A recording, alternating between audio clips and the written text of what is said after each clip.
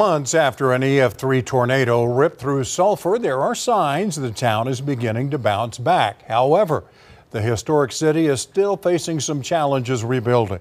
News 4's Caitlin Ogle has details.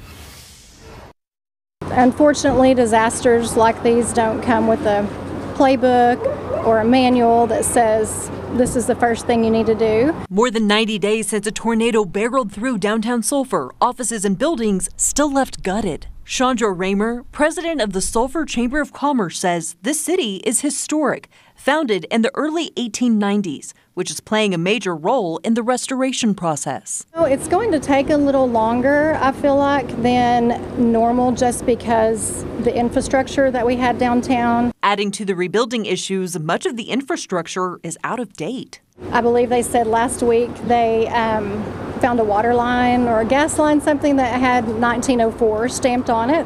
That's what the city will need to focus on before the community can start building back. Raymer says the plans are in the works. A task force with businesses, property owners, and residents meeting weekly. And coming up with strategic plans on where to start and trying to get uh, a game plan so we can get things rolling. While the process may take some time, the community is still strong, working together to bring this town back to life, but keeping its historic roots. So we've had to take a step back and collect ourselves.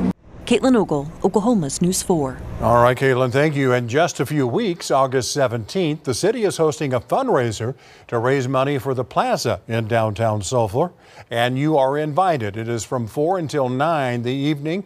That evening at the Artesian Hotel, they would like to host concerts again too and bring everyone downtown because that's where the heart of the city is, they say.